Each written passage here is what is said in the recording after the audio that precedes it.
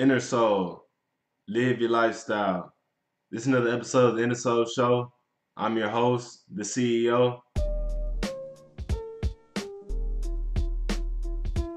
What's popping in Innersole news is new video from Innersole out now. Billionaire opinion on Ye. Y'all go check that out. Culture news. Instagram makes more ad revenue than YouTube. New core filings revealed. It was stated that Instagram made $32.4 billion in 2021 compared to YouTube making $28.8 billion.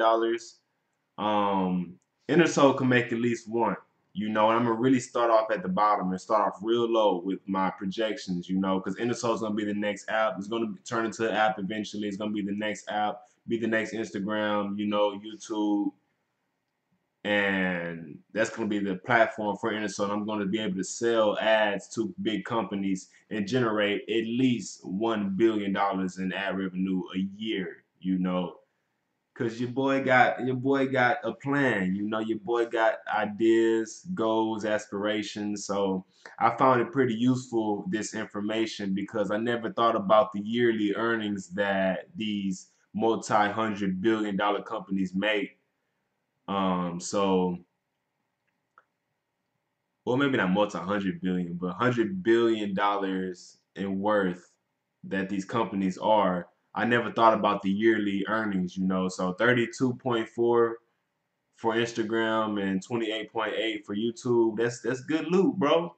That's good money, man. That they could just pour back into their company, or they could just do whatever they want to do with it. So ads are pretty big, you know, and Innersole is going to be a part of this ad game.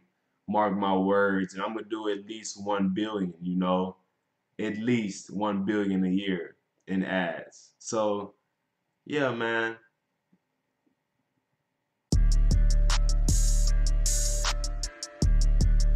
Today's main event, I'm going to be explaining to y'all how to make money in 2024 let's get into it. I got some advice from a billionaire one day, and he said, find your passion and match that with your skill.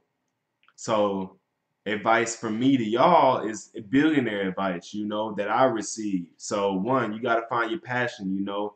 And I know it's easier said than done because for the longest I couldn't I didn't know what my passion was. So in my because in my mind it just sounded so off, you know. But until I really just put the pen to paper and came up with it, I didn't know what it was. But I had to put that pen to that paper, and then no matter how off it sounded or how unrealistic it was, I had to believe in myself and believe in it and say it and write it down, you know. So advice number one, find your passion, you know, and match that with your skill. And if you're able to find a connection between the two, dang, but then again, you got to make sure it make money though. so probably find your monetary passion, you know, that's going to produce some income. So yeah, I'm, I'm, gonna really be precise. I like to be precise in what I say. I like to go over what I say, repeat myself so y'all understand it. Cause I, I like I work like that. So advice one, find your monetary passion and match that with your skill set. Another advice I got from a billionaire was to put all of your money in your product. You know, not necessarily diversify your money and into like certain different things, you know, like stocks or whatever you want to. I'm not I'm not tripping on stocks. That's more like millionaire alley, alley to me, and I'm on the billion billionaire side. You know what I'm saying? So I'm not necessarily focused on what millionaires are doing, even though I have to become a millionaire. But like, if I'm going to be a billionaire, why not? Why stop with the millionaires and what they're doing? You know what I'm saying? So I'm put the advice number two I got from a billionaire. So this is billionaire advice. You know, we're not we're not really messing around, you know what I'm saying? Uh, advice number two, put all of your money in your product, your service, your company. You know, that's that's what I'm in the process of doing right now, putting everything I have into Innersole. You know what I'm saying? So I feel like I'm on that right trajectory to be where I want to be.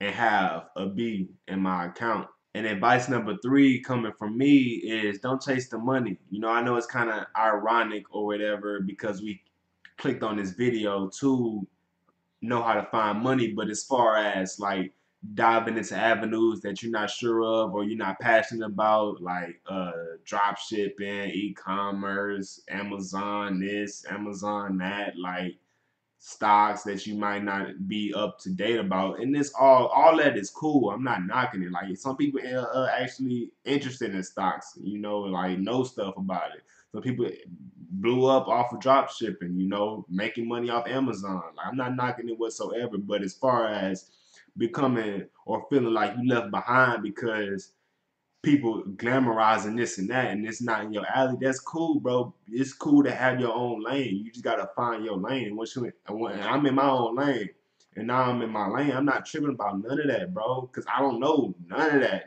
like, you know what I'm saying? Like, I'm not. I don't care for none of that, bro.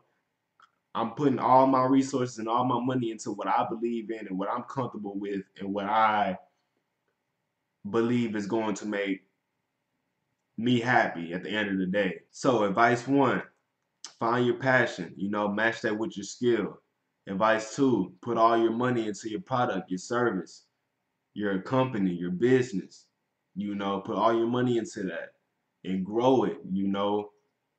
Come to Innersole if you want and have an opportunity to live off of your company, your business, your product, your craft. That's if you want to. Uh, so yeah, put all your money into that. Uh, and three, don't chase the money, man.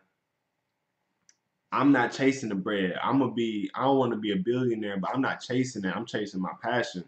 You know what I'm saying? And to be honest with you, this is the second time I made this video. The first time, the audio didn't pick up. So I was saying that for millionaires, I'm gonna put this at the end. Like millionaires, I don't know too much about y'all, bro. You know what I'm saying? Like I'm not really tripping on that. I know the billionaires or the millionaires, they like to diversify their portfolio and like to have money over here, money over there, money over there, but they're millionaire. But like the billionaires put all their stuff into one pot and then they surpass the diversification that the millionaires are doing. And that's the route I'm on, bro. So I don't really I don't really know too much about the millionaires, man. You know what I'm saying? Because why would I why would I study the millionaires if I'm trying to become a B? I really study the billionaires and like like and and then again I could shoot for the B and land on the M, but the M not gonna be enough for me. But like shooting for the stars, landing on the moon. I could shoot for the B and land on the M, but if I shoot for the M, what I'm gonna land on like thousands? Come on, bro. you know, so yeah. Uh, find your passion, match that with your skill. Find your monetary passion that makes money. Match that with your skill. Two, put all your money into your product. You know. Three, don't chase the money. And two of those strategies are from billionaires, you know. You didn't just click this video for nonsense, bro. Thank y'all for tuning in.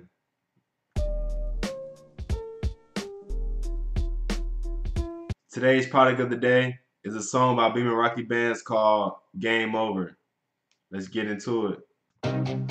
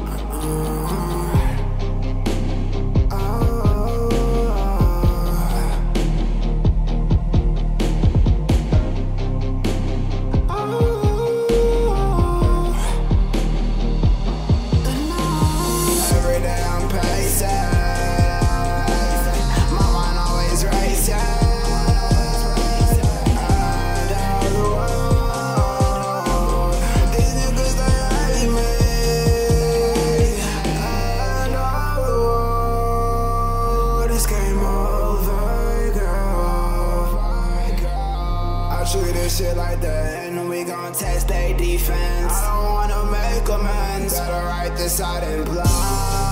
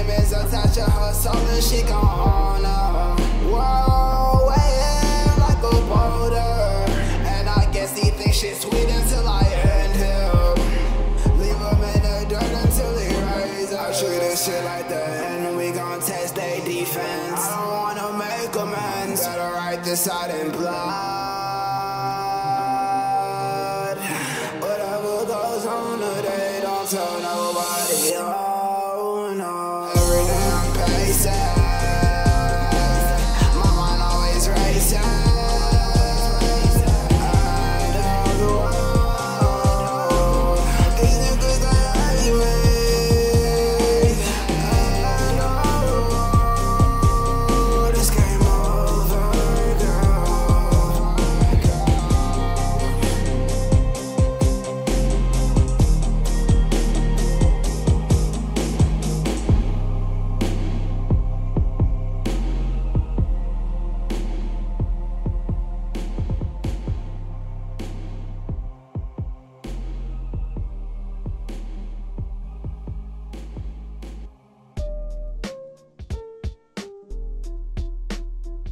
Girl, don't ask me about the future. This the moment.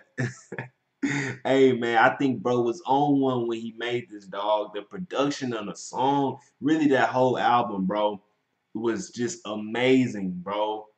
Uh, I think this song was is one of his top three songs ever, dog. And I think another song on that album is another top three song. So two of his top three songs is a part of that album, I believe, bro and it has no. It's, it's, even though this song's kind of old, I'm not knocking his new stuff.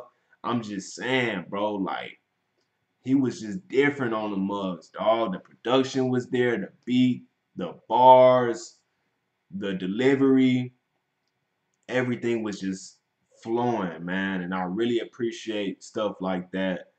Good music, man. So shout out that man, B Meraki Bands. This was a good product. This has been another episode of the Innersole Show. Thank y'all for tuning in. Make sure you like and subscribe. Innersole. Live your lifestyle. Peace.